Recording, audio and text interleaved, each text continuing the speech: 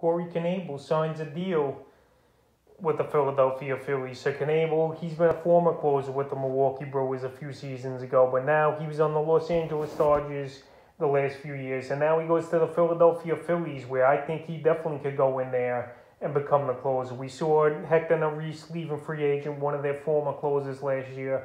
Archie Bradley, I believe, is a free agent as well. And right now, Knebel signing this deal here with Philly, in my opinion, to possibly be the closer. Last season, 25 and two thirds, 4 0 record, 3 saves, 30 strikeouts, a 2.45 ERA, and an 0.97 whip. So, right there, pretty solid stats. I know it was only 25 innings pitched here from Knebel, but right now he gets the deal he wanted right before this lockout. And we'll see if there's other deals today before this lockout happens. But anyway, as far as fantasy baseball goes, if he's the closer, then obviously in the later rounds, like the 14th to the 18th round, you would obviously target Knebel because this Philadelphia Philly team, they're not the greatest of teams, but they're probably going to be a team that wins anywhere from 80 to 85 games. And if he is the full time closer, he definitely could get 25 to 30 saves next season is Knebel. So Knebel, him and the Phillies have been talking the last few days, and it finally comes to fruition here with him signing with the team. So we'll see if he becomes the closer